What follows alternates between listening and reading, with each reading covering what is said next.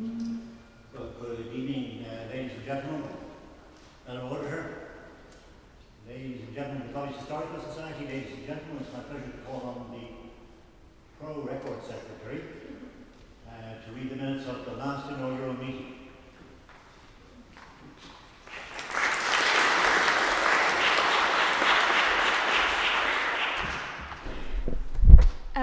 last inaugural session was held on the 24th of March uh, for, with the auditor Sebastian John Fulmer speaking for the inaugural of the 253rd session on the, on the importance of discourse in the modern day, with the guests Rory Montgomery and Cody Keenan proposing the motions of thanks of the Society which are due to the auditor for their paper and that the HIST is worthy of support.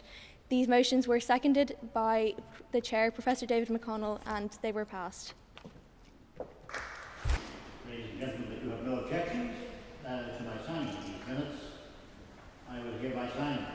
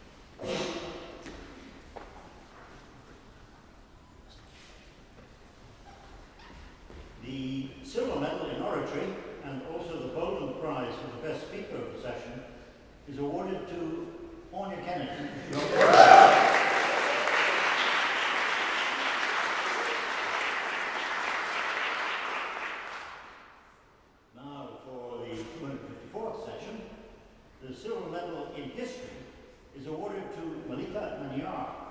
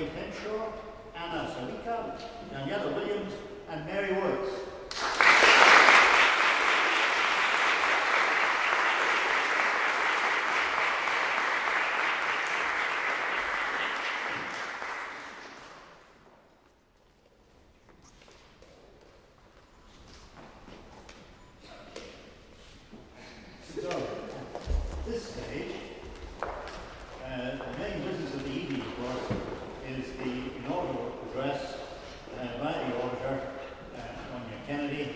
I think those of you who have been in touch with the Society over uh, this session will realize it's been an extraordinarily wonderful session, many splendid meetings and splendid achievements led by your auditor. And I have enormous pleasure in inviting her uh, to give her inaugural paper, Irish Identity in a Globalized 21st Century. Order.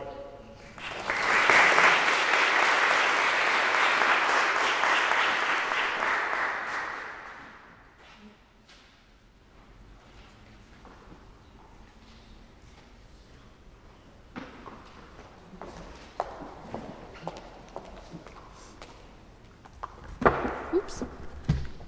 Chair, ambassadors, vice provost, vice presidents, and friends of the College Historical Society, ladies and gentlemen. Curn sé an áthas ar a bheith anseo nach in éanaach le na caiintúir céimúla seo, agus is mór an honour dom a bheith obalta chu fóta mór roh galéir. Since Sebastian addressed you last March, the Society has continued to build upon the strong foundations and successes of previous sessions. The College Historical Society remains an institution both by and for students at the very heart of student life in Trinity. Throughout its 254th session, the HIST has continued to engage, encourage, and empower young people, to promote and foster exceptional public discourse and debate, to build a community and a third space for generations of Trinity students, and to just keep winning Guinness World Records. Um, this year, we have held debates on topics as diverse as a constitu- constitutional right to housing, Trinity's colonial legacies, and monogamy. We've had addresses from guest speakers ranging from former Prime Minister of New Zealand, Jacinda Ardern, to Hong Kong student activist Nathan Law, to former Tory MP Rory Stewart. We continued the HIS long tradition with many landmark events. We gave a platform for a head to head between our Student Union President and our Taoiseach. We co hosted a debate on whether the Republic has forgotten the North in Stormont's Senate chamber. And we even debated for 27 hours and 58 minutes straight once. But you can all be rest assured we're not trying to break that record again tonight. We've also held five internal competitions, two external competitions, and three schools competitions, many of which had record numbers competing and notably high standard of speakers. I'm barely scratching the tip of the iceberg with those achievements, but it is safe to say that the 254th session has been an exceptional one for the College Historical Society. With that in mind, I would like to say a few words of thanks before I begin my inaugural paper. First and foremost, to the General Committee for their exceptional hard work, enthusiasm, and support throughout the year. Behind every single one of those achievements I mentioned is a team of talented and passionate students who I've had the pleasure of working with over the past 12 months. Just as the HIST shaped its members, its members shape the HIST. The culture and success of the Society is a reflection of the many wonderful students who currently make up the Society's General Committee and Ordinary membership. To our four very distinguished guests who are here this evening, it is an honour to have you, and thank you very, very much for taking the time to join us. Not only is it an honour to be speaking alongside you, it's also a huge relief to be speaking first, as you're all very daunting acts to follow. Um, to our chairperson this evening, Professor David McConnell, thank you very much for your unwavering commitment to the HIST. Um, I should note that David stepped down as president of the Society in February this year after over two decades of incredible leadership, and in typical David fashion, has continued to go above and beyond in his support and advice ever since, even agreeing to chair this evening when our new president, Mary Harney, was unable to make it to all of our other wonderful honorary members who provide so much support to the Society. Adrian Langan, Ursula Quill, Ross Hines, Luke Fehley, and Ted Smith are just a few of the honorary members who have be, been so beyond gracious and encouraging with their time and advice over the course of the year. To my, to my family, who have supported me um, throughout my time in the HIST, in particular to my dad, who perhaps unintentionally impressed on me from a young age that there is nothing wrong with being a little bit argumentative. To all my friends, particularly those I have met during my time in the HIST and who continue to bring so much passion and joy to the society, as generations of students have done for centuries. I'm thrilled to be finishing my term as auditor knowing the society is in good hands. And now I turn to the topic of the inaugural address. Many countries have experienced mass migration over the centuries, resulting in significant populations of their descendants in other states. However, the Irish diaspora is distinguished by the disproportionate number of people of Irish descent outside Ireland as opposed to in Ireland itself, and also the extent to which the diaspora has tended to retain their Irish identity while abroad. Even when they are several gen- generations removed from Ireland, they still consider themselves to be 100% Irish, as Joe Biden and a less well known Kennedy family than my own can attest to. My perse- perspective on this issue stems from my own familial experience. While I've grown up in Dublin, my ancestors on my dad's side emigrated to New Zealand. The Kennedy line returned to Ireland when my dad met a woman from Cork in a bar in London, and I suppose the rest is history. He ended up returning to the old turf, if you will, and might be accordingly called a lapsed migrant. It sometimes seems that the understanding of Irishness abroad reflects a fossilised and romanticised view of Ireland. The Ireland our diaspora dreams of is the one that the individual emigrants left behind in nostalgic songs like Revenge for Skibbereen or Danny Boy. This may be in part because so, many Irish, so much Irish emigration was involuntary, caused by famine or economic necessity. It may also have been a reaction to the discrimination initially encountered for so many emigrants in their new homes. Religion, education, and even the demographic of Irish emigrants all doubtless played a part too. However, part of the diaspora's community clutch on their Irishness was out of necessity. Many of them have coalesced around religion and culture and Irishness to gain social mobility. In any event, it appears their sense of Irishness often increased rather than decreased with distance from Ireland. It should also be remembered that there was a darker side to traditional Ireland, which these romanticisms tend to forget particularly in its treatment of women. One of our most evocative speakers this year, Dr. Maeve O'Rourke, spoke passionately about the horrors of mother and baby homes in Ireland. We must be honest about our past if we are truly going to put it to rest. For the descendant of those, descendants of those who stayed behind, our vision is very different Ireland to the romantic one in Hollywood movies or traditional songs. We take pride in our economic and social progress and aspire to being a modern and inclusive progressive European state, one that figures like Mary Robinson worked hard to build. Even though we still have a long way to go, we have come very far from the maidens dancing at the crossroads. Even if some of our returned diaspora might be disappointed to find that the Ireland their ancestors left has moved on. While the international vision of Ireland tended to focus on us as Gaelic Catholics, this was always a gross oversimplification, ignoring the influxes over the centuries, whether those were Vikings or Normans or Scots or many other groups. Of course, at the time of partition and for much of the 20th century, the vast majority of the population in the South were white and were Catholic, with an unhealthy symbiosis between church and state on both sides of the border. It is only in recent decades, post EU membership, and as we attracted more immigration due to the Celtic Tiger, that we became less monocultural to the benefit of us all. Irish society has been enriched by the return of Irish people who lived and worked abroad. Such, such uh, such migrants have a vision of a more inclusive society, less dominated by religion, and greater equality for all.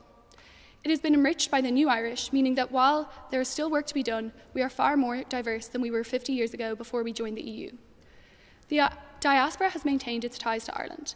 The somewhat outdated Rose of Tralee competition with its contestants from all over the world demonstrates the proud Irish communities across the globe, but also the tension between the traditional view of Ireland, which it originally portrayed, and the attempts to be more inclusive in recent years. Although we can sometimes be unfairly, dismiss- unfairly dismissive of the Irish diaspora, as we can see with terms such as plastic paddy, we are happy to benefit from it all the same. One such example is our annual trip to Capitol Hill. Indeed, we are the only country in the world with a standing invitation to the White House every single year. From the day that Henry Ford was persuaded to build his car manufacturing plant in Cork to today, we have leveraged this soft power to attract investment in Ireland, and much of our modern prosperity arises directly from our success in this regard. The impact of that soft power cannot be underestimated, and it goes far beyond one slightly bizarre but nonetheless state of the art service station off the M7. I don't think any other country in the world would even consider naming a petrol station after a US president. Joe Biden, of course, is fiercely proud of his Irish heritage, as many of his predecessors were. However, the fact that the St. Patrick's Day tradition is maintained, even by those with no particular affinity for Ireland, demonstrates the soft power of the Irish diaspora. Another example of that soft power was in the first years of the Trump regime when sanctions were introduced against Russia. They were also impacted They were also impacting many other European states, which a cynic might see as an added benefit from a US perspective rather than an unintended consequence. At a time where there was virtually no bipartisan cooperation in Washington, the Irish embassy was able to engage with Irish American politicians to negotiate amendments to the regime with a view of avoiding potentially disastrous consequences for Ireland's largest manufacturing facility, the aluminium refinery in Limerick. These are just a handful of the examples, these are just a handful of examples of the value we derive and the influence we assert on the world stage. This influence and this value is so disproportionate relative to our size because of the uniquely transnational nature of Irish identity. Furthermore, in a post colonial world, being Irish may carry less negative connotations in many parts of the world than other white European ancestry identities. Ireland is seen as another victim of colonialism. And while, after over 800 years of oppression at the hand of British imperialism, that is absolutely true, our relationship with colonialism is much more complicated than that. In fact, many Irish people have been complicit in have benefited and profited from, and have actively participated in the colonisation, degradation, and oppression of Indigenous people in other British colonies. Ireland's colonial legacies go far beyond George Berkeley and even far beyond Trinity. Huge and other disproportionate numbers of Irish people played a significant role in colonialism abroad, whether as soldiers, settlers, missionaries, or governors. However, their role tended to be subsumed and cr- credited to the British. I completed my undergraduate dissertation last year on the role of the Irish in colonial New Zealand, and one interesting discovery was that while we celebrated certain Irish figures for what we saw as their distinguished careers as soldiers, politicians, and diplomats, those same individuals were often seen in a far more negative light in modern New Zealand, primarily because their careers have been revaluated in the light of their treatment of the Maori population. Interestingly, such unpopular individuals, because they were servants of the British Crown, tended to be seen as English or British in New Zealand, rather than Irish, whereas the much smaller numbers of Irish people who did champion the cause of the Maori were more readily remembered as Irish in their own lives and today. Accordingly, there is a helpful tendency to overlook the actual Irish contributions to colonialism, such as that of Dwyer, the Irish officer responsible for the Amritsar massacre in India. The perception of the Irish in parts of the world which have suffered from colonialism may be more charitable than we deserve. At the end of the day, the concept of being Irish means more than geography or genealogy. Cities all over the world boast Irish pubs with names like Murphy's or the Little Temple Bar or Kennedy's. St. Patrick's Day celebrations take place across the globe on March 17th each year. Such phenomena demonstrate the global understanding and appreciation for Irishness as a concept. While Guinness and the colour green may be embarrassingly shallow stereotypes, the affection and influence positively generated by the affinity of the diaspora and their sense of Irishness is incredibly beneficial to Ireland. While we can take pride in what we have achieved as modern Ireland, perhaps the time has come to redefine our Irishness. We are no longer a land of saints and scholars, but can we reaffirm our values as an Ireland of a thousand welcomes, being fair and inclusive when we deal with refugees and migrants, especially those from war torn regions like Ukraine and Palestine, or fleeing economic catastrophes or the disastrous effects of global warming, to which we have also contributed. Nor should we forget to be a fairer society to those born on this island, irrespective of gender, religion, race, or socioeconomic background. So, what is Irishness? What makes someone Irish? Being Catholic doesn't seem important anymore, if indeed it ever was, so let's scratch that. Being white obviously isn't. You'd be hard, for, hard pressed to find a true Irish person who'd say Phil Lynott or Paul McGrath weren't 100% Irish. In spite of the 27th Amendment, Irishness is something bigger than citizenship, religion, or ethnicity. I think the Irish people are people who, have, who live or have lived in Ireland, whether born here or having just arrived. We are people that are good crack, that cheer against, the, against England in football, and most importantly, despite colonialism, uh, despise colonialism and stand with the underdog. There's increasing talk of ending Ireland's neutrality, of becoming part of a European military. But as a small nation with a powerful diaspora, perhaps we can contribute more by being a voice for human rights, by speaking up for the dispossessed, the victims of racism or gender discrimination and violence, or any discrimination and violence, and by opposing genocide and human rights abuses wherever they may occur. We've seen the reaction of the US and many other European states to Gaza, not only failing to speak up, but actively supporting Israel's offensive assault on Palestinians. Ireland does not belong in coalitions with these states. She should stand with the oppressed, as it is they who stood with us when we needed support. Irishness has often been described as an identity that is value led, and moreover, it has often been described as an identity that we forged from Irish people's marginalisation, be that at home as a result of British colonialism, or abroad because of the discrimination faced by Irish migrants. Essentially, being Irish means what it does today because our people struggled. And we benefit extensively from that disproportionate influence and airtime we get because of that understanding of Irishness. However, if we are the people we say we are, then surely we have a moral responsibility to use our influence for wider goals rather than just for attracting more multinational corporations to Ireland. Surely we should be encouraging our friends to stop fueling humanitarian crises with their funding and arms. This year alone, tens of thousands of people have been murdered, including huge numbers of innocent civilians and children. It is estimated well over 1.5 million people have been displaced. And acts so barbaric that they can only be described as war crimes are being committed by countries such as Russia, China, and Israel and some of our closest allies are complicit in these acts. Unlike Germany, the UK, the US, we don't have a major arms industry selling to Israel, and we can use our independence and our neutrality to be a force of good as we did during the Cold War. Our leaders are elected to represent us and our interests first and foremost, but in doing so, we can be an independent voice for those suffering from human rights abuses, from the consequences of climate change, and perhaps most pressingly right now, from genocide. If being Irish could be seen as being a voice for social justice and for international cooperation against the scourges of poverty, war, and climate change, then that would be to all our benefit. Creating a more sustainable world for future generations is in everyone's interest, Irish or not. Ní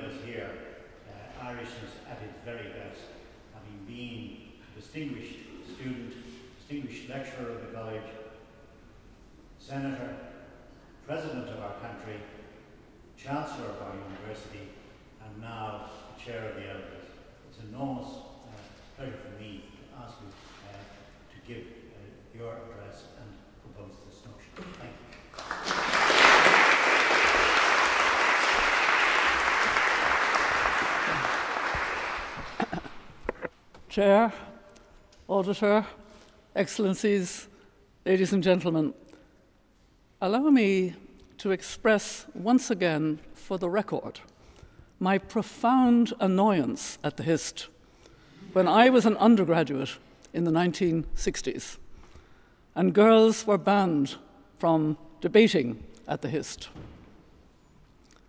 I was particularly keen to debate because I was very shy um, I actually saw two schoolgirls, I see them now in their uniforms coming in, and I want them to particularly hear this. I was very shy, so I wanted to debate. And they wouldn't let me in the HIST. They wouldn't let girls debate in the HIST. So uh, what I tended to do was go completely blank, so I needed to practice. So what I had to do was I had to go out of Trinity, go across to Earlsfort Terrace, which was part of UCD, and take part in the L&H. And that's where I learned some of my debating skills. Imagine it. I mean, just imagine it. So the HIST was closed to me, and I was forced, as I say. And uh, so for this, um, you know, I know you're very proud of the HIST. It's clear from what the auditor said, you've had a great year and all that. But just remember, there is this murky, misogynist background. Never forget it. Okay. So um, actually, it was remedied very soon afterwards. When girls were allowed in, of course, one of the first auditors was Mary Harney, who can't be with us this evening. And we had a splendid speech from Áine Kennedy, um, our current um, auditor. And uh,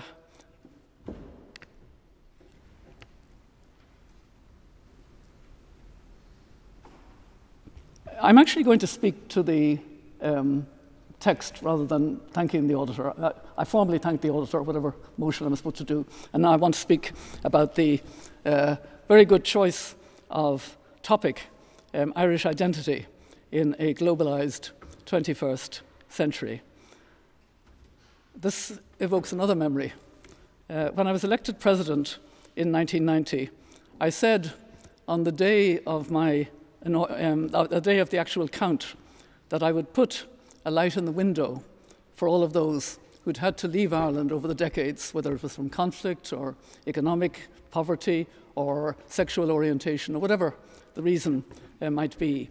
And the extraordinary thing is that that light took a life of its own. It, it actually taught me the power of symbols. Uh, I never got to mention that light when I met the Irish community in the United States or in Canada or in Argentina or in Australia or, New Zealand or wherever, because people would always greet me. We know you have a light in the window and how much it matters. And actually, at that time, we didn't care much about um, um, the Irish who emigrated. We didn't have any policies for them.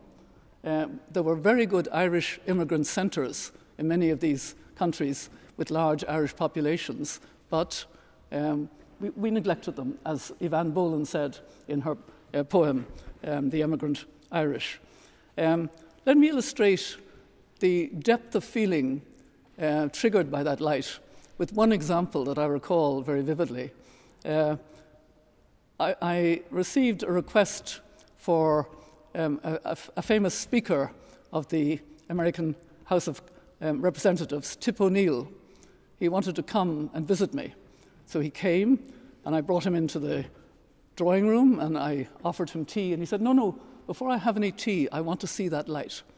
So we came outside, and uh, there were steps, and I was looking at the light to show him that it was in the kitchen of our private quarters, and you could see it from the public road. And I, was like, and I turned around, and there were tears, literally, rolling down his cheeks. The intensity of that feeling about a light in the window because of his Irishness, because of his desire to be part of a family. So that led me to um, decide in my second address to the two houses of the Oireachtas that I would speak about what I'd learned about this passion of so many Irish who'd left Ireland, perhaps were third or fourth generation even, and yet they felt this intense thing. And I actually coined the word diaspora. It wasn't used. Um, in fact, when I announced that this would be the title of it, there was some press criticism. You know, well, what's that? Um, and I see nodding there, somebody who remembers it well. Um, and I, I, actually asked my father, I said, um, you know, uh, am I right to use a new word when I'm talking? And they said, oh, yes, my father said. Irish people love new words. And anyway, it became uh, more. But I want to fault myself for my passion for the subject. Because what happened was, I addressed the two houses of the Oireachtas. I think a lot of TDs and senators felt this was political territory anyway, and they weren't very pleased that I was choosing it. And secondly, I was full on. I preached my gospel. I spoke with no self deprecation, no joke, no nothing and I got very tepid applause from inside the Oireachtas. I mean, people were not so happy to be preached at in that way. And the wonderful thing was that outside, um, it took off, in the, especially in the diaspora. I mean, Ted Kennedy put it on the record of Congress, and um, I, had a, I had a wonderful handwritten letter from a nun some months later. She said, I'm in China I don't think there's an Irish person within thousands of miles of me, but I've heard that you gave a speech and I felt included. And it was a lovely sense of um, somebody who uh, was cheered up and, and, and made to feel part of this wider Irish family. So my passion for Irish identity remains. I think the Good Friday Agreement was an incredible uh, contribution because it allowed multiple identities in Northern Ireland. And unlike you, um, Madam Auditor, um, I'm actually going to talk about more the internal first on the island when we talk about Irish identity. Um, we had a shared European identity when both parts of the island were members of the European Union. And then we got Brexit and how to move forward uh, with Brexit, how to develop and deepen the relationships. And uh, I think it's probably worth thinking about how to create the time and the space and the motivation to really build relationships on this island. And one idea, and I just throw this out as an idea, would be to have a moratorium. I don't think five years would be enough, but a 10 year moratorium, taking the politics out of it, having no question of raising a referendum on either part of the island for 10 years. I think this would clear a space that could be used very creatively. You see, there isn't much movement between this part of the island and Northern Ireland. We don't know beautiful parts of Northern Ireland. Um, we don't have much relationships. There are relationships. Um, there are the relationships um, that still exist under the Good Friday Agreement. There are relationships, for example, between um, law society, medical profession, um, sporting. In fact, the only sport that isn't an All Ireland sport is soccer. All the other sports are All Ireland sports. Um, but we haven't actually deepened a sense of really getting to know and hopefully like the other on the other part of the island. Um, we haven't uh, done enough. For example, it could be very good for our climate um, carbon footprint if we had more people holidaying on this island. I know people want to get away from the rain, but the other part of climate warming is that we're going to have hotter summers. So we could spend hotter summers travelling from one end of the island to the other, and as I say, deepening these relationships. There are wonderful festivals, um, uh, music festivals, literary festivals, etc., and they can give a, a good leadership in uh, bringing us together. But uh, we need, um, if we're going to really talk about a rounded, full Irish identity, and you uh, rightly made it a very inclusive idea, which I agree, um, but uh, to have uh, that real full sense of an Irish identity, we need to build relationships and keep building them and keep making sure um, that we're going in the right direction. And now I want to just say a few things about Ireland looking outwards as part of this identity. And obviously, our key relationship is with the European Union, and we are learning to give some leadership there. For example, as our auditor mentioned, um, on uh, an example on, on Gaza. Um, I would prefer also if we retained our neutrality, which um, only we can really understand, uh, because the world is weaponizing in a very dangerous way at the moment, including weaponizing further nuclear weapons. Uh, we've had recently good climate policy and legislation. The problem is implementation. Uh, we're not on track. Uh, the latest I looked, we were on course for about 29% reduction rather than 50% uh, reduction of our carbon footprint by 2030 of our, of our emissions. Um, I just want to say one word as chair of the Elders, the group that Nelson Mandela brought together in 2007. Um, the Elders believe that what the world needs to deal with what we call three existential threats the climate and nature crisis, the um, uh, pandemic crisis, because we haven't learned from COVID. We still have not prepared for the next pandemic, and it will, they say, it will come, and we're not prepared. And the nuclear weapons crisis, and across all three, the role, for better or worse, of artificial intelligence. Long view leadership, briefly, means actually addressing and trying to resolve problems at a collective level with collective responsibility. Um, doing it based on evidence and reason.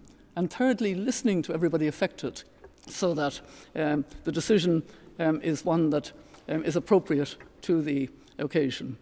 And uh, having spoken about the elders, I'm going to end uh, with um, a quote that I've used more than once of the second chair of the elders, Kofi Annan. Archbishop Tutu was our first chair. And Kofi Annan had a favorite expression that he would use. He would say, You are never too young to lead, and you are never too old to learn. And now, whatever I was to do with the motion, I propose it. Is that okay? Thank you.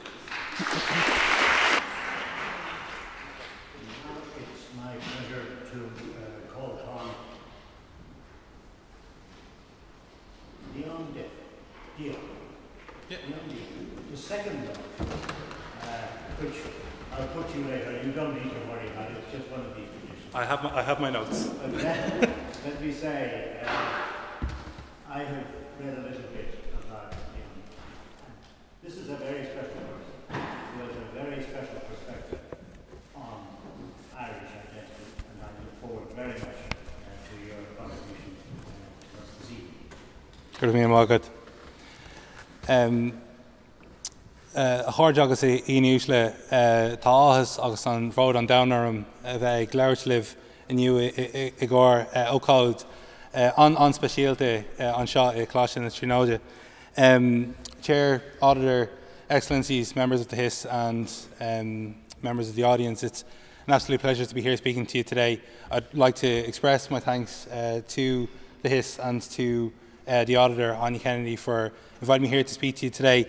Uh, and also, if I can say what an honour it is uh, to speak um, and, or to, to share a podium with um, former President uh, and UN High Commissioner for Human Rights, uh, Mary Robinson, alongside uh, amazing uh, fellow speakers, uh, Professor Philip Lane and Dearbhail McDonald. Um, to be honest, I also wish they would have allowed me to speak first. Uh, because I feel like everything I want to say has been said already, uh, particularly by Áine. Um, but look, here we go. We'll give it a, a, good bash, anyways. Um, this topic interests me and excites me for a number of, of reasons it's discourse like this that brings us forward as a society and I suppose allows us to both reflect on what has been and discuss and dream about what can be as well. The theme of Irish identity in a globalised 21st century is something that fascinates me on many levels.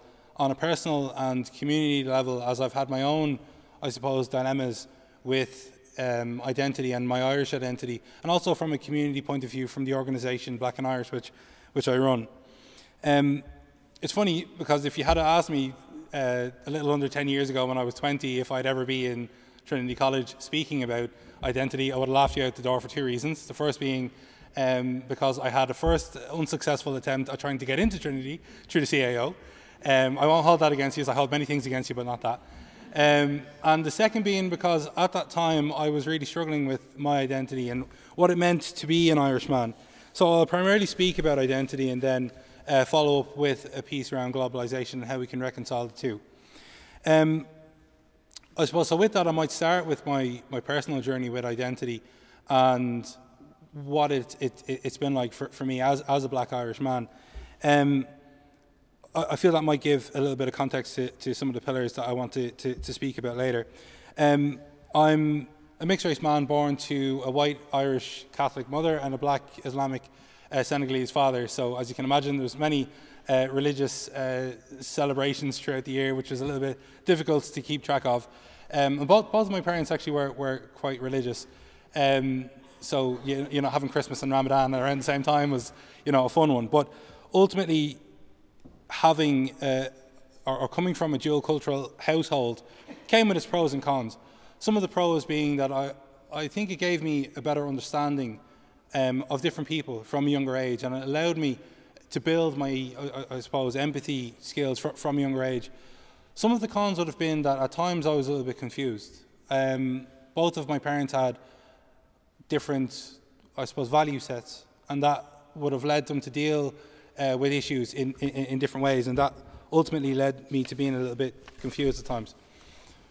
Externally, though, um, I found that being mixed race came with a set of challenges which tested my identity um, at various points throughout my, my childhood, my adolescence, and er, er, early adulthood. I fell into the stereotypical trope of not white enough uh, or black enough for either side, or to more accurately put it, I positioned myself that way. I allowed the jibes, slurs, and stereotypes from white people and the quips, side eyes, and reluctance of acceptance from black people to determine how I per- perceived and positioned myself in the world. This in turn affected my attitudes and behaviours, and ultimately, this in turn affected my self confidence and self esteem. The two halves of me were in constant conflict and did not allow a moment's rest. I sought, appro- I sought approval um, from others and would often hide parts of myself in order to be accepted. At one point, I tried to entirely disconnect myself from one side of my heritage, which ultimately led to a complete identity crisis. It was one night when I was replaying that battle that I had played over and over again, over a thousand times in my mind, that I said enough was enough. The game of tug of war had to end. I was no longer taking part in this game of diminishing myself. I envisioned myself walking up to the rope and cutting it with a big pair of scissors. Uh, it was actually quite a funny image now that I'm, I'm thinking about it, uh, having a big jumbo pair of scissors. Um, from that day onwards, I was no longer half and half, half this and half that, and all, you know, half. I was 100% of everything that I am. And that, from that day, I've been able to build my self confidence, build my self esteem, and which has in turn enabled me to help others to build their identity. Um, this is ultimately why I went on and started the organisation Black and Irish, which has shared hundreds of stories over the last few years and gathered tens of thousands of followers. And that, what, what that showed was in 2020, when I founded the organisation, there was an appetite for people to share their stories and talk about their Irishness, and there was an appetite for people to listen and for people to learn as well, which I, I, I think is really important. In the mosaic of Irish identity in the 21st century, the perspective of black Irish individuals adds depth, and complexity, enriching the narrative with layers of diversity, intersectionality, and belonging. The Black and Irish community is resilient, and having its identity challenged and facing concerning levels of racism on a day by day can, can be tough and it can chip away at you. But ultimately, it is a resilient community, and we are establishing ourselves and, and, and our identity. So, that is a little bit about my personal challenge with um, with my Irish identity and, and, and how I went on to, I suppose, find myself and be more open with myself, more kind to myself, and ultimately show that I have resilience. And that's something that's reflected throughout the Black and Irish community now in, in, in Ireland. Those are some of the ways that I have been um, interested in this topic, but there are other ways as well. I'm interested in, this topic from a historical point of view, from a philosophical point of view, from a moral point of view, and from a logistical point of view as well. So, from a historical sense, it, it, it's important that we know where we have come from to know where we're going. We can only connect the dots looking backwards. And it was only by looking back on Irish history and our recent, uh, and our recent history that I was able to determine what it means to be Irish to me. So, in Ireland, we, we've had many tests and challenges of our identity as well. We saw our potato crop fail despite us working the land tirelessly. We experienced forced hunger. We saw our population half, either through perishing or emigrating for a better life. Under colonialism, our language was almost erased, and we had to fight to stop our culture and our freedom from being wrestled from us. Under the Catholic Church, we shamed those who were vulnerable and punished them by isolating them and separating them from loved ones. We are a nation that has seen wave after wave of new people come to Ireland to try and settle. Any true Irish person who understands this will truly understand our identity. An Irish person who understands their identity will form attitudes and behaviours congruent with their history, aligned with their ancestors who had to flee and experience discrimination, humiliation, and fear. An Irish person who understands why we had to have hedge schools will resonate the importance of keeping our culture alive.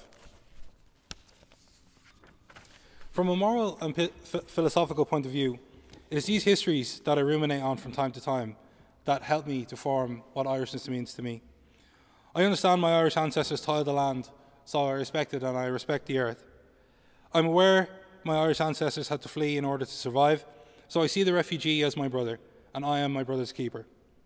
I know my ancestors face humiliation and discrimination, so I engage with kindness and empathy. I know my ancestors face persecution for trying to keep their culture alive. So I try to keep it alive and engage with it as much, as much as possible. I support those who also try to keep it alive. A closed culture to me is a dead culture. So I open it to as many people who will listen and welcome them with open arms.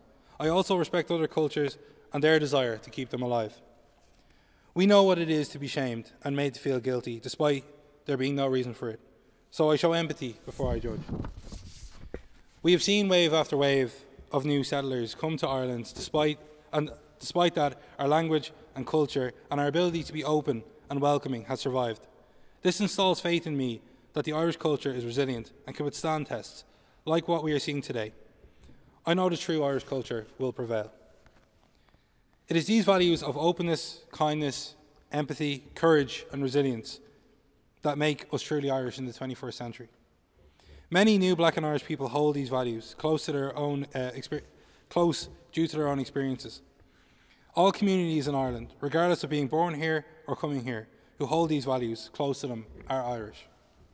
Regardless of skin colour, ethnicity, religion, gender, or sexuality, what makes you Irish is who you are on the inside. I'm going to speak about globalisation now and the impact that it's having, and it is something that we will need to really come to grips with and adapt if we are, I believe, to survive as a species. Globalisation is a force that we must adapt to if we are to overcome the challenges of tomorrow. With access to new cultures and communities can come conflict and competition for resources. This can also bring about opportunities, which I believe outweigh the challenges. The opportunity to collaborate with new minds is what should excite us the most. If we can rectify the conflicts and ensure people have what they need in order to not have to compete, we can collaborate more and get the best from humanity. W.E.B. Du Bois once said, The world is shrinking, and races and cultures will collide. What we must try and bring about through healthy globalization is that when this collision occurs, what sea change do we get? Conflict or collaboration? The Irish identity and way of life can become a guiding beacon of hope in this global turmoil. I believe Ireland can become a global leader in the field of equality, inclusion, and belonging, and that other countries can learn from us. From this, small, from this small island, we really can change the world. So, to close, I would like to again express my thanks for being invited to speak to you all today. The Irish identity should not be built on features, but instead be rebuilt on foundational values. Those are the values of empathy, openness, respect, kindness, and resilience. Despite the challenges, we have massive opportunities to become a global leader in equality and inclusion. Once we begin to overcome our current challenges, greater challenges may show themselves, like the challenges of climate change and artificial intelligence and challenges to democracy. However, we will face them together.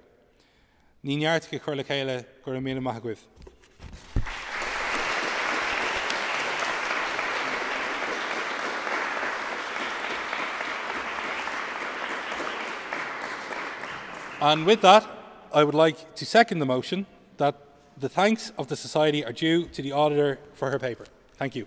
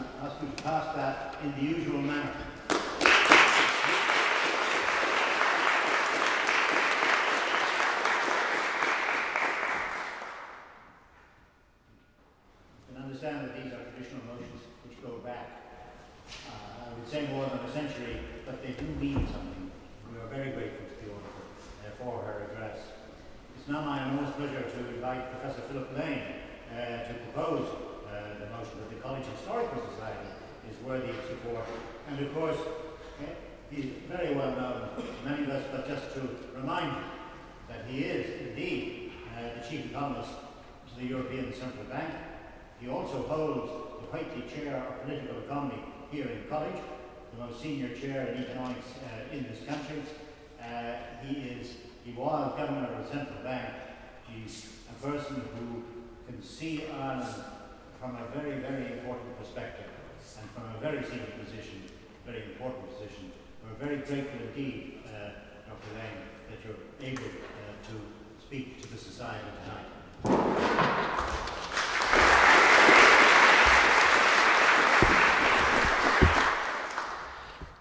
Good evening. So I'm very happy to propose this motion, uh, and I think it's sufficient uh, to take tonight's event uh, as a motivation for that.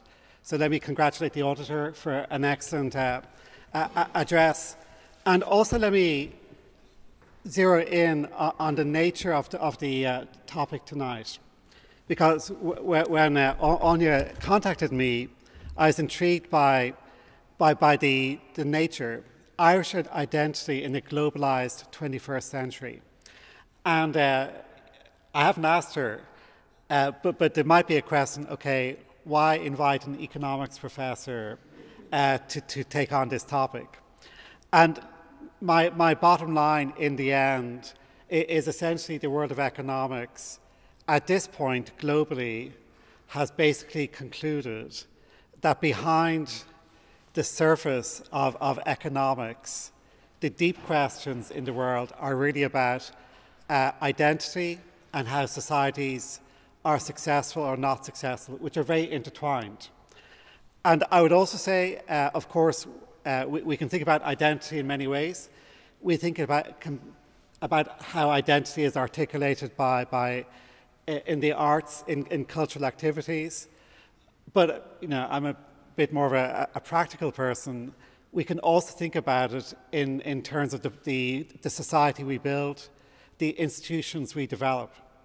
Uh, and this is where Irish identity in 21st century, globalized 21st century, is very interesting because Ireland really, it's very hard to find other examples which has, has the same context as Ireland, uh, as uh, the auditor said in her speech.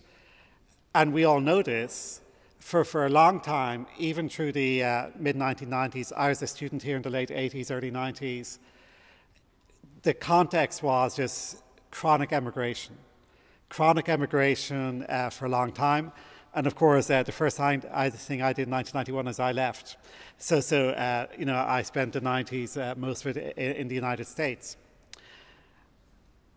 And of course, now, uh, uh, for the last, uh, you know, 30 years essentially, we, we now have the, the, the fact that many people, Irish people returned, and we have many people who, who live and work here from all around the world. And maybe it's noteworthy and striking um, uh, with uh, the contribution of Mary Robinson, we of course have many diasporas here now. And actually, when I you know move around Europe, I keep on meeting people to say, "Oh yeah, my cousin, my uncle, uh, my nephew, they're working in Ireland." So you know, there's a Croatian diaspora here, there's a Polish diaspora here, every country in Europe, and of course around the world. Uh, there are those uh, little communities here, and of course people have multiple identities. Mary Robinson here in this country has been very, I think, uh, successful in emphasizing it's not a either or. Uh, you can be Irish and also maintain your, your, your, your cultural background. And of course, in America, as, as Mary Robinson identified with the Tip O'Neill story, uh, of course, there's very, very many striking examples where people really do uh, maintain uh, both identities. Maybe I would also say what's maybe also uh, relevant now is, of course, in this world, uh, despite uh, some of the, the, climate costs of it, many people work in one place and live in another place. There's lots of commuting between here and uh, London, lots of commuting between here and Frankfurt, where I am at the ECB. Okay, so, so the identity, and I'll come back in the end to identity, but let me add in the globalization uh, element. And in fact, my, my academic career was built on the study of globalization. And economically, we think about globalization of the economy through trade, globalization of, of finance, that essentially global investors uh, have the world uh, to, to allocate uh, across. Globalization of technology, uh, something invented here, can roll, be rolled out around the world. Something, of course, invented in America or in China can be rolled out here. Uh, and uh, I think today, a, a lot of the uh, theme tonight is about globalization of, of, populations, migration, which is you know really a, a very big topic. Uh, and uh, by the way, the economics uh, consensus is the biggest transformation in the world is through migration. and of course, this is one of the biggest political issues. But maybe I'll mention in the end, uh, all of those uh, elements are maybe uh, you have to set aside, you know, side by side with, with basically the shared uh, uh, planet we live on, and that whether that's this shared responsibility for, for uh, reversing uh, global warming, uh, shared responsibility for global public health, to name just two, and of course, uh, global security. Okay, so where does that bring me? It brings me to the fact what the world just chronically is, is struggling with is how do we run a globalized uh, world? What is the role of the nation state, which in the end is the most important organizational unit? What is the role of the European Union? And uh, by the way, uh, uh, uh you know, uh, via the European Central Bank, the European Union uh, is quite advanced in, in that dimension. And what is the role of global organizations, which really amounts to the various branches of the UN? And this is really, I think, a fundamental issue. And of course, because democracies are basically national in nature, we, we have not, you know, I don't see any near term scope to really have participatory democracy beyond the, nation, the nation state. This brings us to what is, is, is the role of the nation state, how do we have a successful nation state, and how does that interact with identity? Because the, the paradox of globalization is, in fact, more than ever, the nation state is essential. You might say, in a globalized world, what do I care about the, the local nation? Uh, my, I work for a multinational. My, my, day, my day is spent with other people in that multinational organization or my culture through the internet, it, my, my online culture is some global community, not some local community. But in the end, uh, globalization uh, can be uh, very extensive in terms of technology, in certain, terms of some types of the economy, but most of the time uh, you live in your neighborhood. Most of the time uh, you care very much about uh, where you live in terms of housing, you care very much about the healthcare your elderly parents receive. You care very much about the education your kids receive. So, in the end, a lot of uh, your, your happiness and your success depends on how good is the nation state, how good is the municipal government for that matter. And this is where uh, the identity comes in. When people look at this around the world, it is so intertwined with a strong sense of national identity. Essentially, if you don't uh, have a shared value, someone mentioned values tonight, I think you mentioned values. Um, if you don't have a shared identity with the other people in, in the nation state, uh, politics tends to descend into conflict, zero sum distributional struggle, as opposed to trying to build a, a collectively enhancing uh, uh, society. And it's, it's very important uh, in this world, if we want to take advantage of globalization, that we have well educated people, we have healthy people, uh, we have the infrastructure to do well under globalization. So, the paradox of globalization is it makes the local more important.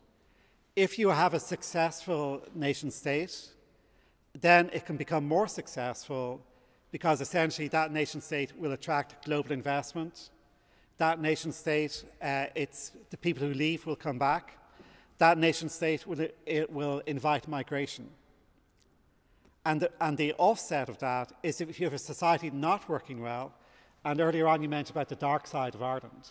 Many people left in the 60s, 70s, 80s, partly for economic reasons, partly because they did not want to live in that country. And so, if you have an unsuccessful country, you get what's called a doom loop. People leave, they vote with their feet, then that country functions less well, they cannot afford, because it's getting smaller, they cannot afford to run the country, and you can have basically a slow moving implosion. And Ireland is one of the few examples which has reversed that dynamic. So uh, maybe I'm uh, meandering here, but my basic point here is I think the, the ingredients are success in a globalization world needs a, needs a successful society and government. And I think the only way you have that is with a strong sense of shared identity. That is not a given. You can't be lazy about it. You have to build it. Um, and let me say uh, that, that Ireland has a, a lot of uh, possibilities here. Uh, if you look at indicators around the world, people report a very strong sense of community engagement in Ireland. Compared to many places, there is a platform of strong communities. Um, and I think that, that that is very important. And maybe I would also, as a side comment, say this is also goes hand in hand with promoting solidarity elsewhere. Uh, if, if we want to avoid an unstable world, we want to promote successful societies elsewhere. So, international solidarity across the EU, uh, globally, especially in Africa, I think is quite important. Okay, let me finish by just coming back to, to uh, the European level. So, I said uh, we can't really have global government. Uh, I think the UN is essential. It has to do what it can do. But in the end, it's too distant from uh, electorates to be able to do very much.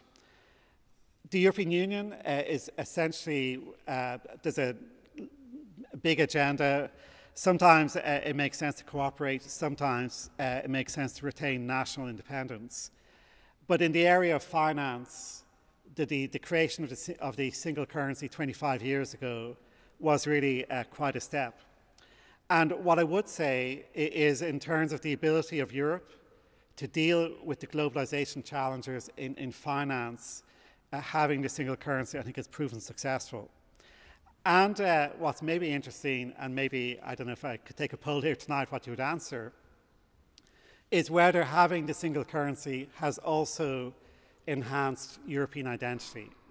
I mean, I, that's our impression. When we look around Europe, the fact that we share a common currency is really, uh, and this is the intention, by the way, those who created the single currency ultimately did it to build political ties across Europe.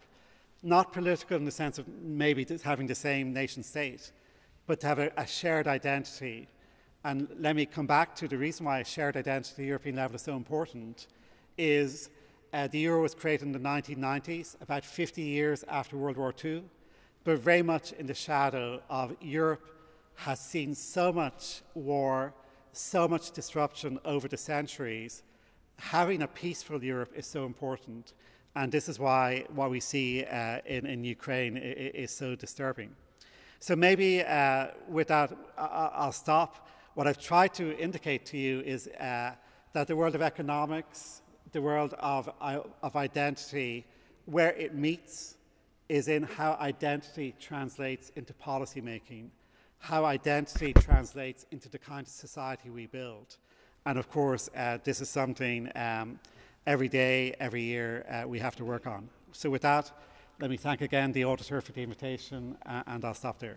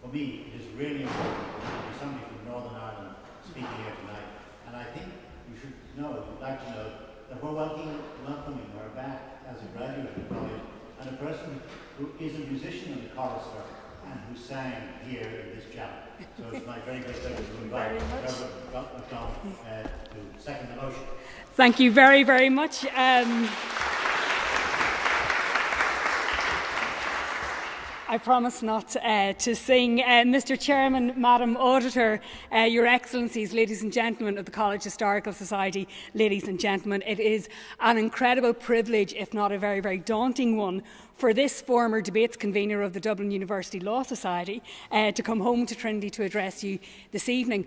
I breathed with relief when I heard Amir Robinson talk about going completely blank because in third year, um, I, it may have involved actually uh, debating against Adrian Lang, and I think it was in the Mace Observer, the Irish Times. I blanked during a debate and did not speak in public again for close to 10 years. So it was actually quite daunting for me to come back uh, to debate um, at home. Um, Crossing the front square this evening, I was reminded of one of the most intriguing questions we used to ask each other uh, when you first come in through those doors in Trinity. The question, What school did you go to? Uh, usually came nanoseconds after the question, Where do you come from? And it took me a little bit of a while uh, to, to realise that the answer to that question, What school did you go to? Um, was potentially relevant um, because it could denote social class or status, um, whether or not you attended a fee paying school uh, whether or not, like me, you were likely to be receiving a grant. Of course, the question, what school did you go to, had huge resonance in my native Northern Ireland because the answer to that then or now typically answered the question as to whether you were a Catholic or a Protestant, although Dearbhail from Newry sort of usually sorted that one out for me. But that's what we do when it comes to identity. We put each other in boxes, we assign difference, we engage in othering, the them and the us. As a young person growing up at the height of the Troubles in Northern Ireland, I leaned heavily into my Irishness. Um, I was born pre internet, so my parents knew the anglicised version of my name, D E R V A L, and as a young person, I changed that to Derval, to the Irish uh, spelling of it. Um, I uh, took the chance to learn Irish at school, uh, which was a surprise to many people when I came down here. Um, and I always, uh, then as now, travelled on an Irish uh, passport. Um, much like Derry Girls, it was in culture, in my love of music and theatre, um, where I was able to transcend those differences, where I find my tribe, uh, where I met Protestants, actually, quite, uh, quite honestly, when I was uh, playing in orchestras um, on stage. And it was wonderful uh, that it was in those places that we could really transcend our difference, if only for a time. But it did prompt um, a lifelong passion of mine for conflict resolution um, through creativity and the arts. what Anya has already mentioned, that soft power that we um, excel at. Identity is formed from a very, very early age. I remember being in primary school, somebody asked me, was I a cup? Or a plate, not knowing, of course, what the answer really meant to that, Catholic or Protestant, in those early ages. Um, identity shaped every single aspect of my childhood and adolescence growing up in Northern Ireland, and it still does. Coming to Trinity in 1996 was intoxicating, not least because there were so many Northerners, so many people like me on campus, but not so much not anymore. And actually, the lack of students from Northern Ireland crossing the border to come to third level education is really, really, really worrying. Um, but at that stage, 96, uh, we didn't really possibly realise it at the time. Uh, we were only two years away, and um, that big, big turning point in the Good Friday Agreement. Peace hadn't seemed possible um, to us before then. The agreement was, and I've said this very, very many times, an extraordinary act of scenario planning. It saw around many, many corners demography, um, consent, identity, the one curveball that it did not predict, which was Brexit, which was a crisis, I think, very much of English nationalism and identity. We don't possess um, a singular or a pure identity. There's no such thing as 100% Irish. We have many sub identities, but the French celebrate as la différence, our discordance, our otherness, or our diversity. If you splice me into little pieces, you'll find out that I'm an Irish woman from Northern Ireland who is European, who supports Down or Armagh, depending on who's winning the championship, and a woman who has spent as much time attending games in Windsor Park as I have in Croke Park. Identity matters, but as, as Philip has said, it's not a zero sum game. Like states and constitutions, identity evolves, it's not fixed for all time. And that's what makes the creation of common, community, or national identities a very, very dynamic and a challenging thing to craft.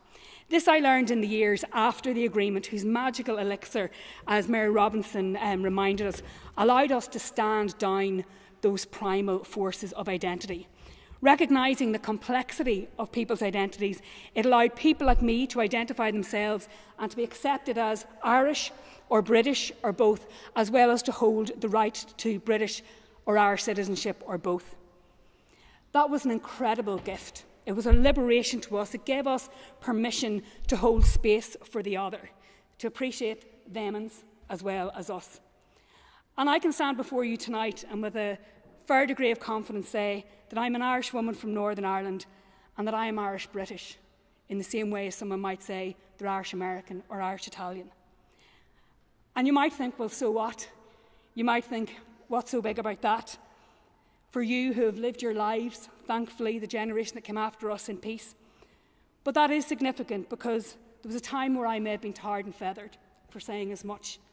And that is really, really extraordinary for us to be able to lean into that experience. Identity matters because wanting to belong, it lies at the heart of our human experience. And throughout our lives, we continually search and trying to find ways and means of organising ourselves socially, politically, culturally in search of that identity and belonging. The personal is at once political, but it has always been thus. Identity has the power to both unite and divide us, and as we've heard, is informing tectonic shifts politically and socially around the globe, mostly, but not always, accompanied, as Professor Lane has identified, by economic forces, both good and bad. Identity is the driving force in contemporary politics from religion to race, gender, sexuality, language, culture, and ethnicity.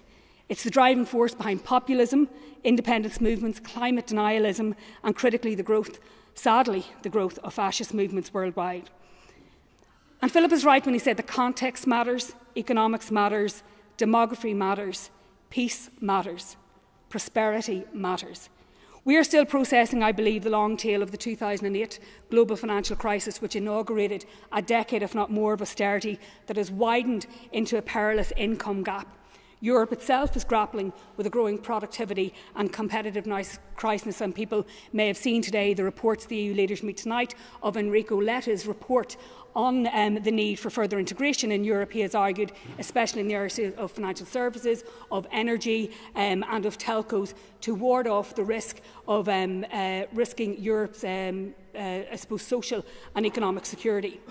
There's factors like declining um, birth rates in Europe, which, like many developed regions, is facing slowed economic growth as a result of an ageing pop population. That's a factor that's actually driving identity crisis in Europe, as well as other regions, including the US, where the great replacement debate has now become mainstream.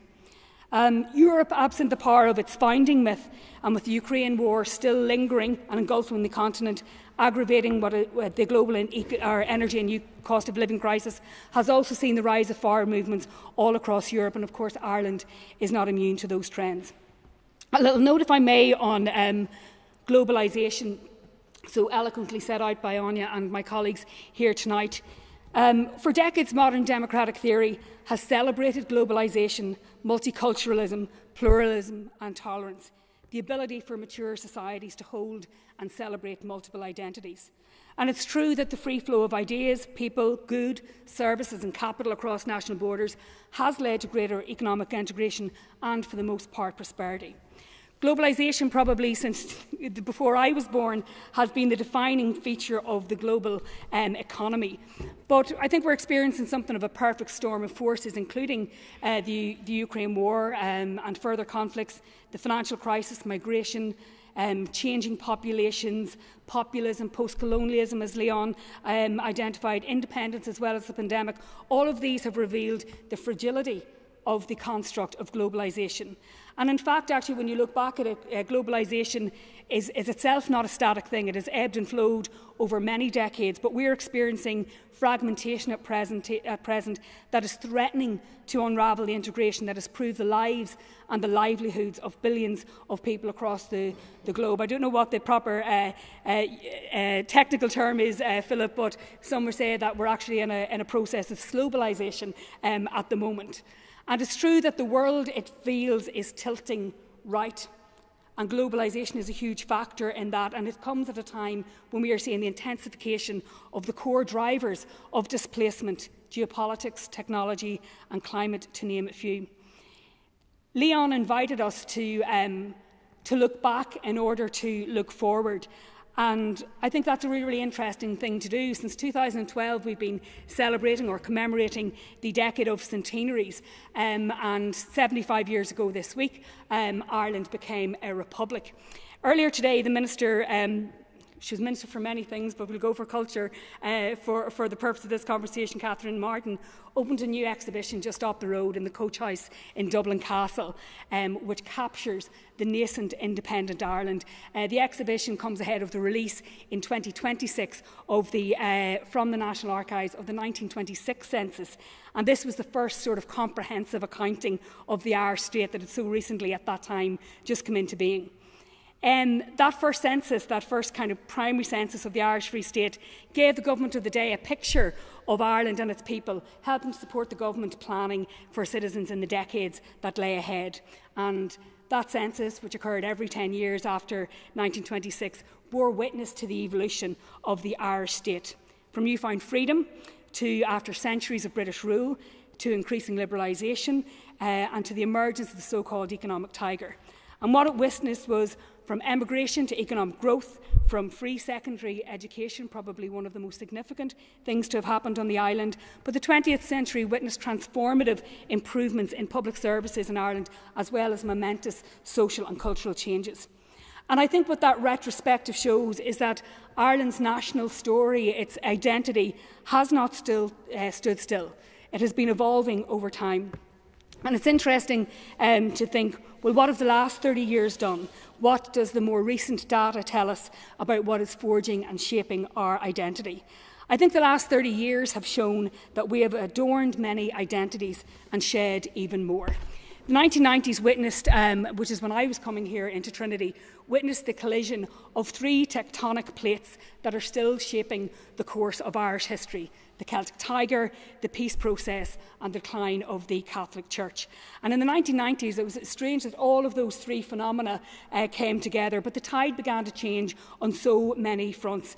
We got unprecedented prosperity, and for the first time, we were a destination for migrants. And historically, as everyone has spoken to, such a big part of our DNA, so many millions left, and we now have a diaspora of more than 70 million, with I think 30 million people in the United States of America identifying um, as, as Irish. Ireland isn't full, by the way.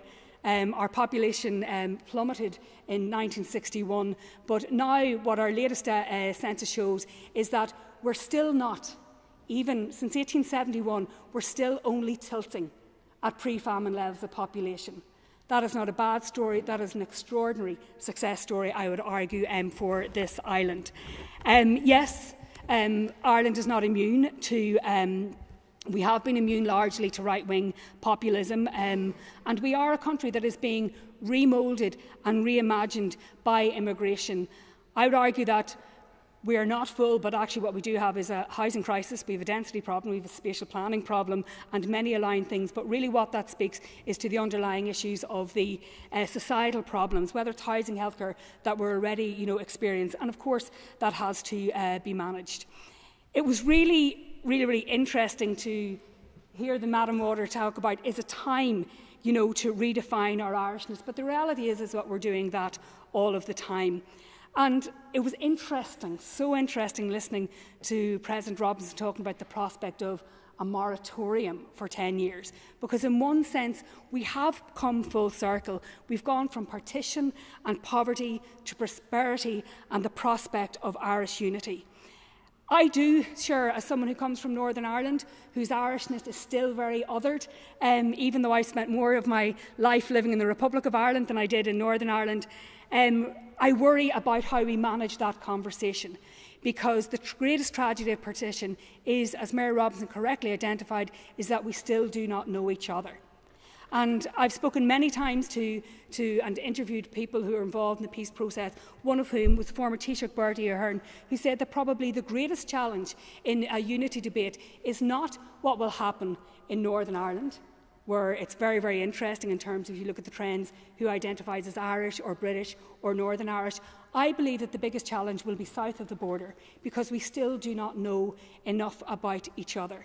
And if the recent debates on the economic cost um, of a potential United Ireland and the dismissal of Northern Ireland as some sort of you know, social welfare state that wouldn't be welcome here worries me, I have to say, in the extreme. I think when we tear behind the the, the unity debate and get into the really deep cultural things like flags, like uh, emblems. Are we ready, south of the border, to accept that more than one million people on the island of Ireland, in the event of unity, have a right to British citizenship, have uh, are going to be British citizens. How do we accommodate that? How do we make them feel welcome? What excites me um, is the fact that the future is not going to be binary, in a, particularly in respect of the unity debate. When we look at the recent census data, particularly in the Republic of Ireland, when we look at 20% of the workforce not being born here, when it comes to the question of unity, It may not necessarily be decided along traditional Catholic and Protestant lines or uh, anything of that order. And that really, really, really excites me because I don't think the future is binary. And I think there are better ways for us to realise the ambition of this place that we uh, can call home. And that includes our fantastic black and Irish uh, community who are not sufficiently, I'll speak against my own profession, who are not sufficiently represented on our air, airwaves in our newsprint. There is a big, big conversation ahead to come. I'll finish up by, um, by channeling that great Persian mystic, uh, Rumi, who gives us a good guide, I think, to what it might be like when we come to consider our Irishness. Out beyond ideas of wrongdoing and right doing, there is a field I'll meet you there. When the soul lies down in that grass, the world is too full to talk about. Ideas, language, even the phrase each other doesn't make any sense. So it is my absolute privilege to second the motion, and my deepest thanks to, to you all for allowing me to speak tonight.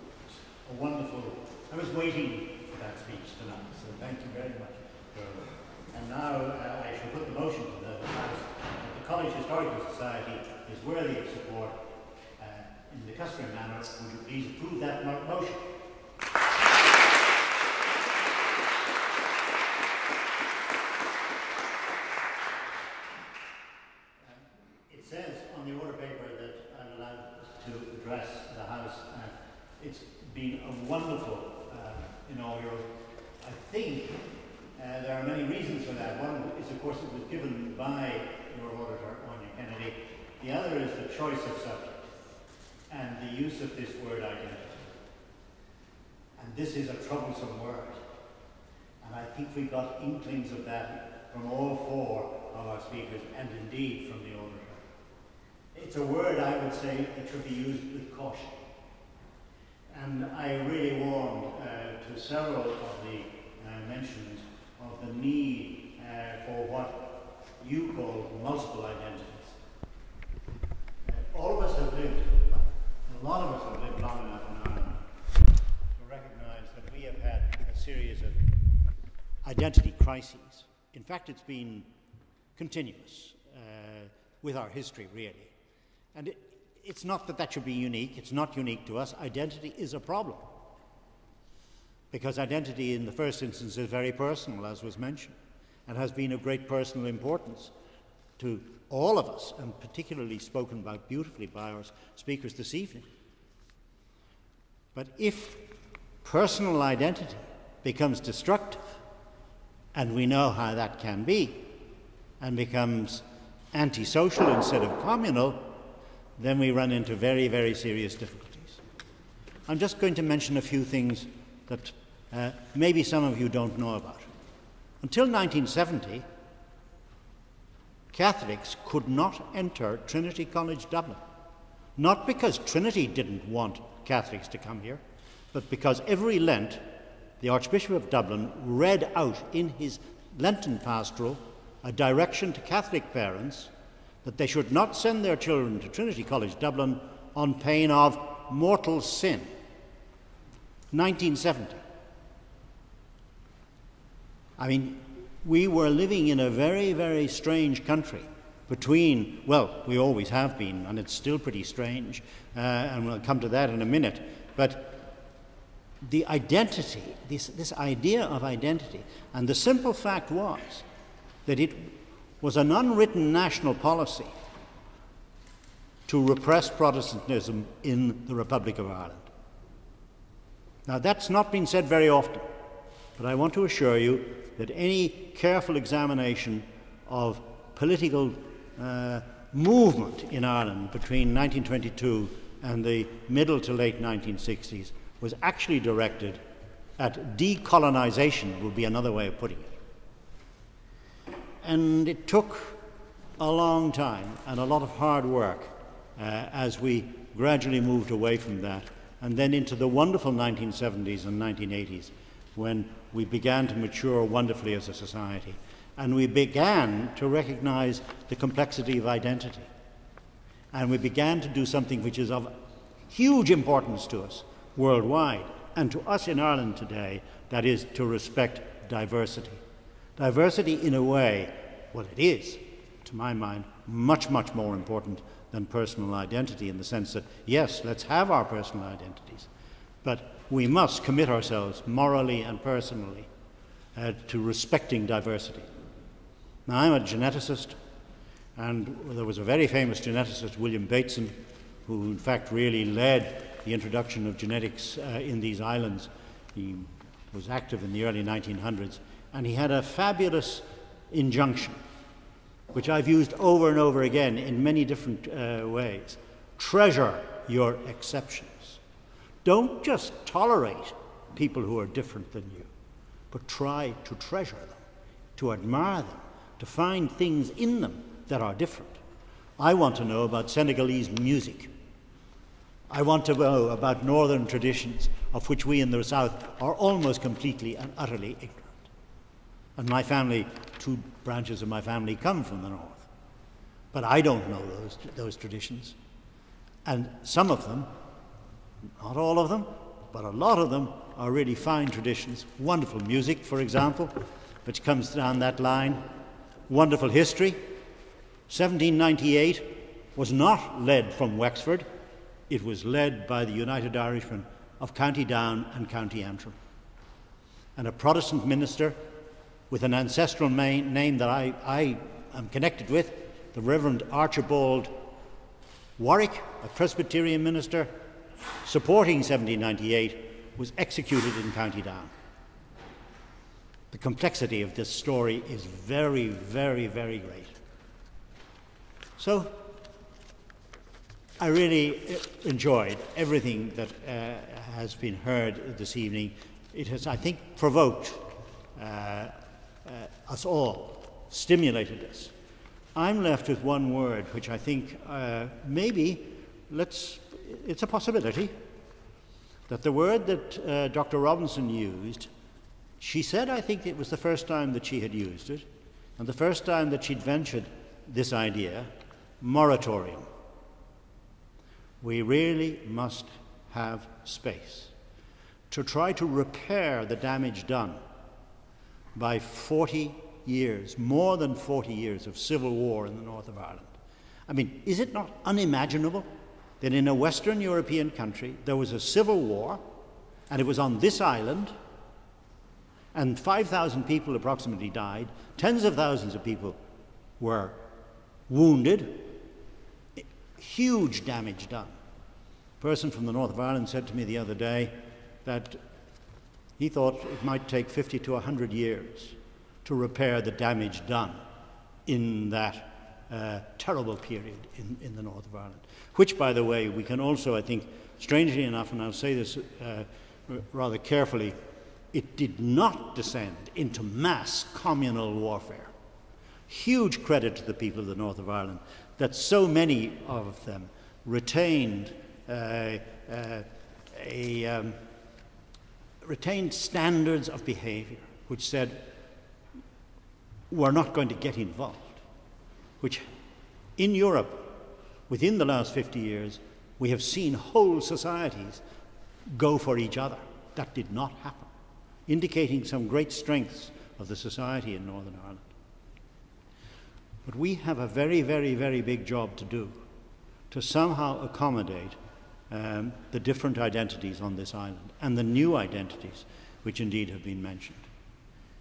Now, I think our experience, um, the fact that our, uh, our institutions are very strong, in particular, let me mention uh, the legal system of this country, our constitution in the Republic, the legal system in the north of Ireland. By and large, these systems have been incredibly strong. And they, it leads me to a last comment, really, that when we think of identity and identities we want to identify with, the ones which are most valuable are the ones which are the highest in our society. In other words, which have the most effect, which affect us all. So the legal system in our country affects us all. We can identify with that and all the principles that underlie it the principle of democracy, all the principles of good government, which should be universal. Those are things we can identify with. Our private, personal identity, sometimes incredibly important. I mean, Greystones rugby club is very important to my grandchildren. You have to be able to identify with your community and the richness of our communities and the diversity of our communities, of our sporting communities, for example. Absolutely wondrous. Let's celebrate all of that, but not so that it becomes divisive, that it can be treasured because it's different. Okay? I don't play hurling. I've never played hurling. I don't. I never did. For goodness sake, think of playing it now. It is the greatest game on the planet. Everybody knows that. We can all celebrate that hurling is the greatest game on the planet. Everybody can. We can't all participate in it. Luckily, a lot of people, a lot of people do. So, in conclusion, I'd like to thank the auditor for her address and to thank her in particular, I think, inspired in, uh, in having, uh, in, in, in choosing these two words, identity and globalization. And what, it was so important indeed to hear from Dr. Robinson and from Dr. Lane how many of these problems that we're talking about of identity, it's very clear that this idea that uh, identities have got to lie, the ones we can share in, uh, should guide us all. And then let's celebrate at the nation state level, at the municipality level, the great principle of subsidiarity, which is a very strong but little talked about uh, theory of social structure, that you pass down uh, decision making uh, as far as you possibly can that is reasonable uh, in society, from the globe to the regional organizations such as the EU, then to the nation states, and then lower and lower down, even to the parish level. We must seek to try to, uh, we must try to uh, promote that uh, across the world. So I've talked for far too long, but it, the problem is that I've been so stimulated uh, uh, by a great uh, address by the auditor and a fine set of speeches by our visitors, for whom I uh, thank you on behalf of this. I'd also like to thank several ambassadors who have been kind enough to come this evening and to listen to the College Historical Society at work. Thank you very much.